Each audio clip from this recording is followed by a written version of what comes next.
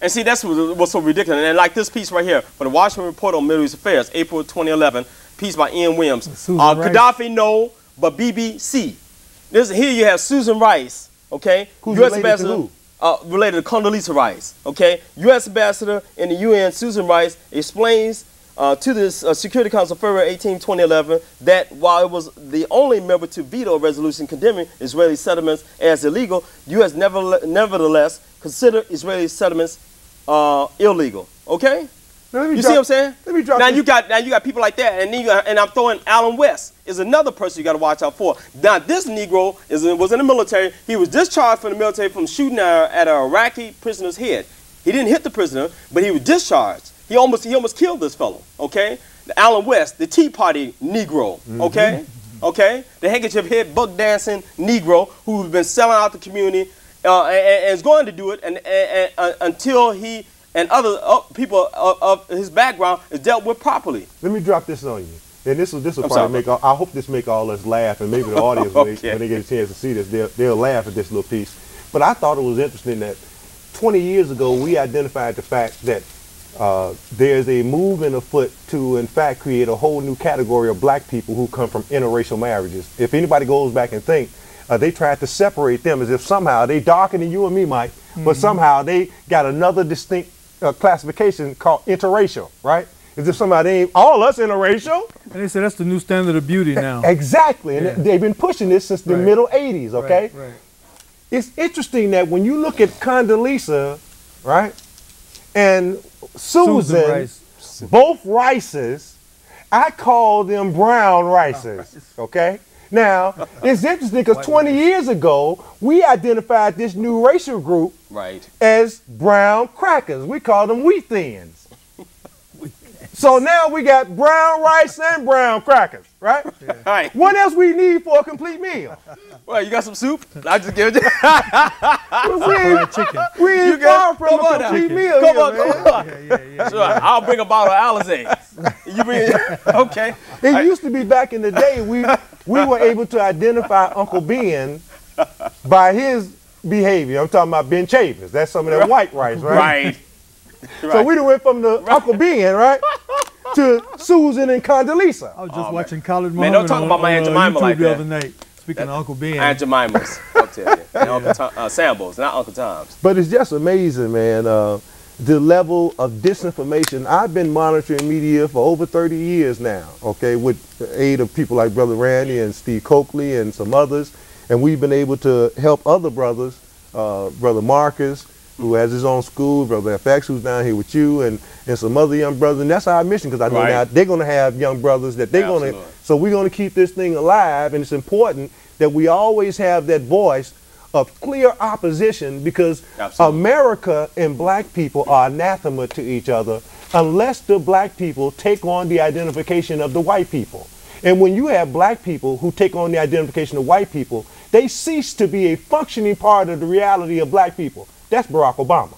Yes. Okay? And they That's use those people through the media, which is why I don't do media today. Okay? I don't talk, and I suggest other black people, when the media comes to stick that microphone in your face, don't say nothing Yeah. because they're not out here to aid you in moving forward.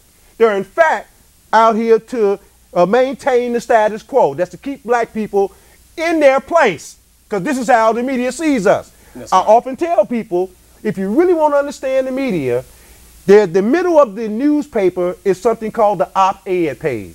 That's opinions and editorials. You very rarely will see the names of the people who write the editorials because they sit on the editorial board. Those are the people who decide what direction the newspaper is going. But if you take op-ed, put them on the end of the press, which is in the middle, which correctly identifies who they are, you get the word oppressed. And that is the mission of the media, is to keep the vast majority of people in an oppressive position through the editorial board, which again dictates what direction the media is going to go. And it ain't just the print media, the visual media has their op-ed as That's well. right. Absolutely.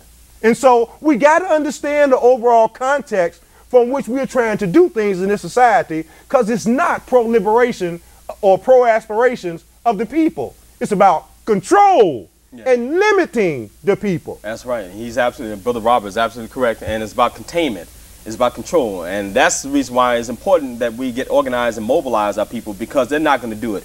Because as Gil Scott Heron said years ago, you know, the revolution will not be televised.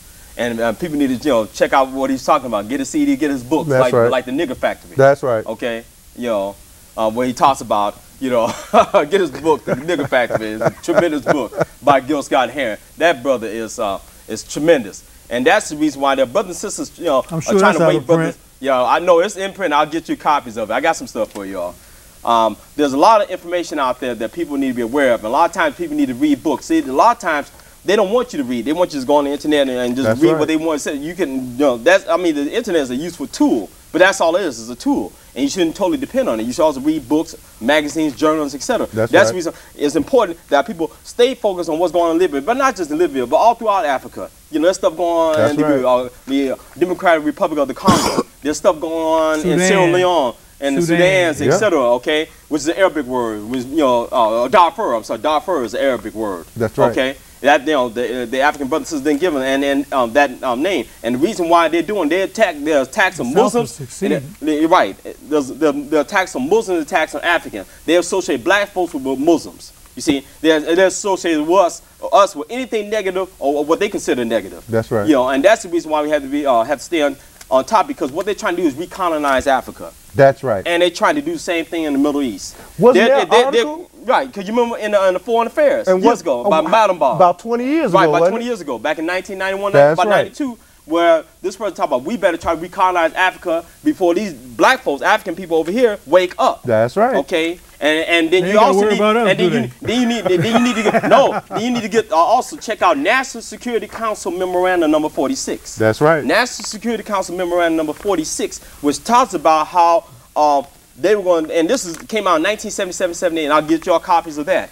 National Security Council Memorandum came out in, 19, uh, in, in 1977, 78, National Security Council number 46. I said it over and over again because I want y'all to hear this because they had developed, there was a memo that came out where they were talking about, and Zbigniew Brzezinski was a part of it, he was a U.S. National Security Advisor at that time, uh, we're talking about how they uh, dealt with the U.S. and black movement, how they're going to prevent African brothers and sisters over here, but hooking up with brothers and sisters in Africa and all over in Brazil, etc.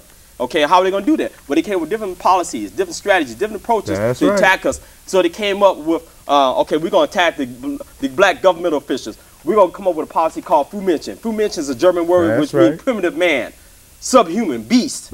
See, it and, and they came up with this policy in order to attack black government officials and stuff like that so that they can neutralize us because they know that basically our people are talking about trying to organize for power. So that's the reason why our people started to look at the electoral arena of less than 40 years ago. And it's no accident, brother, that many of our leaders come out of the foundation-oriented leadership Absolutely. mode where they're That's being right. financed. Because this is where Barack That's Obama right. came Absolutely from. right. Okay? That's right. Uh, It's important for people to understand. And his, his mother. That's right. You can go to the NAACP, Foundation Control, Urban League, Foundation Control. That's right. why none of the problems ever get taken care of. Because these people are primarily being funded to push a particular social policy. It- absolutely. again, you got to associate that with the non-governmental organizations or NGOs Right. in Haiti Right. who are doing exactly the same thing, Absolutely. in Jamaica who And are doing exactly the same thing. and Zimbabwe. That's because right. it's the NGO, the movement for for democratic change.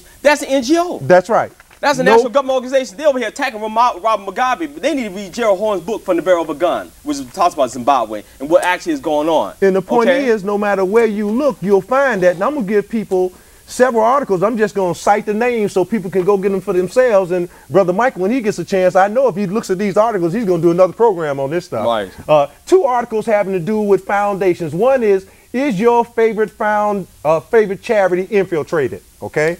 This is from uh, morecity.com for March 8, 2011. And another one is uh, Foundation of Evil. It deals with how the foundations are pushing social policy, okay? Barack Obama comes out of Ford Foundation. His mama comes out of Ford Foundation, okay? Ford Foundation and CIA are like this.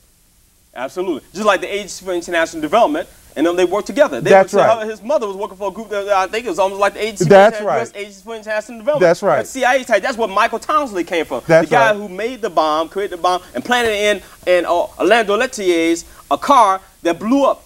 You read the book uh, Death in Washington by Donald Freed and Fred Landis, where it talks about Michael Townsley, who came from the Peace Corps. That's right. Okay? And came from this group, Peace Corps, CIA, like that. Peace Corps, CIA. There are people in the CIA. And not all Peace Corps members are members of the CIA, but there are people who have went to the, uh, was trained at the Peace Corps, and then was uh, uh, was was recruited by the CIA, and then also was trained by DINA, the Chilean secret police. That's right. Uh, the other uh, three or four articles here the National Front for the Salvation of Libya, the group in Libya that's supposed to comprise the rebels, okay? Uh, this is from uh, immuni.org. Uh, it deals with the national, the history of the National Foundation for the uh, Salvation of Libya, okay? The National Endowment for Democracy, excellent, excellent article from March the 10th, 2011, the LA Times, or you can go to truthfrequencynews.com. Clinton wants to recognize National Endowment for Democracy funded FNSL, which is what the uh, uh, Foundation for the National Salvation of Libya, are the same rebels as a legit government. Again, all that's coming from the National Endowment for Democracy and Hillary Clinton. Here's another one. So people can see we're not just talking here. Right. This is the research.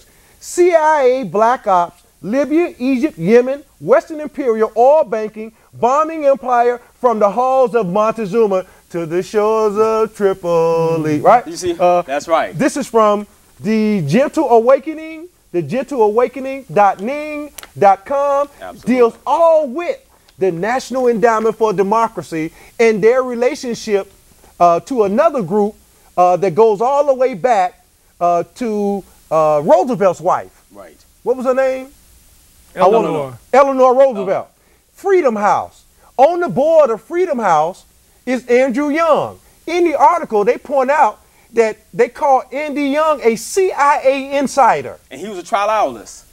Okay? A CIA insider. And Didn't there's- Dr. King say something about him? Right. He was talking about, uh, he called him Uncle, Uncle, call him Uncle Tom. Say We he was the whitest Negro you ever seen or something like that? we Yes. never identified the spies to any degree. They're dribbling out now, but we never identified those outside of Jesse, and now we know the cameraman. But we know we know others, but we need conclusive evidence. So when I see stuff like this, talking about this guy, I, I know that it's real. Here's another article.